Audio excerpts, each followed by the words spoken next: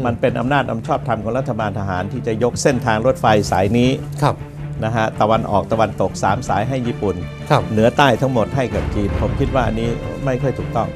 รัฐบาลทหารนี่เป็นรัฐบาลชั่วคราวครับ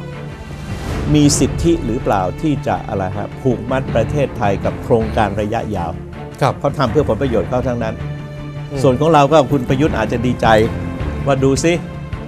อเมริกาไม่ครบชั้นยุโรปไม่ครบชั้น แต่ว่ามีจีนมาอะไร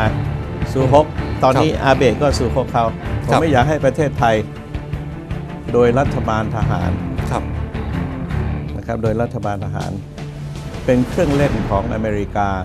อืมจีนแล้วก็ญี่ปุ่น